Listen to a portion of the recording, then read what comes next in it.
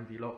Um, if you haven't subscribed to my channel, remember to click the subscribe button at the bottom and also the notification button so that you receive notification when I post a new video.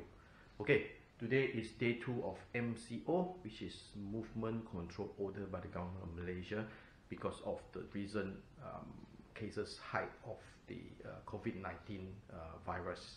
Um, it's been a global problem everyone know about it so I do not want to explain too much as well. Um, I posted a video yesterday. It seems like Malaysian is pretty good follow the instruction uh, didn't really go out but it's not true. My area is fine but some others area people still go out and eat at the restaurant and basically they just ignore what the government tell them to do.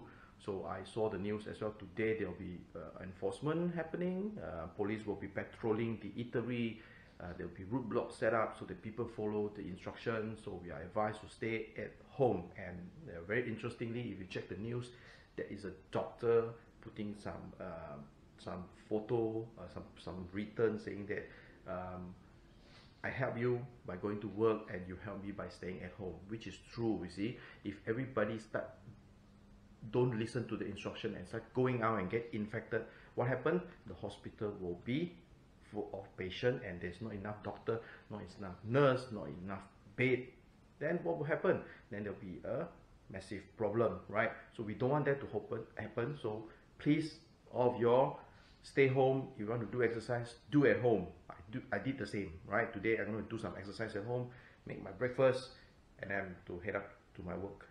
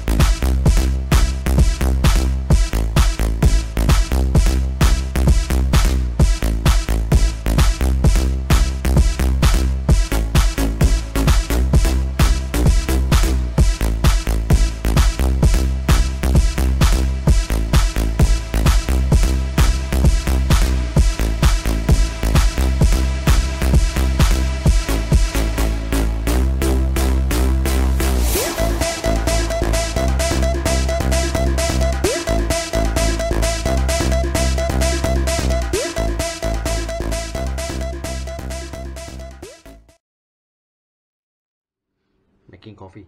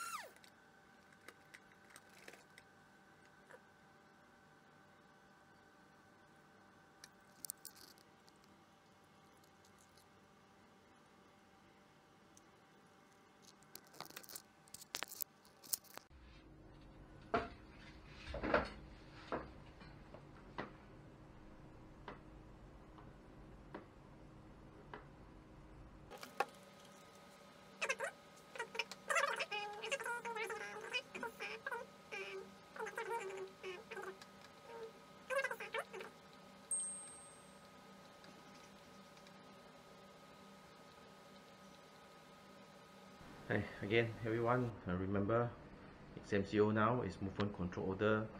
Do listen to the instruction, follow the instruction, and stay at home. You see, COVID 19 is very contagious. Um, there's already two deaths in Malaysia, there may be more in future.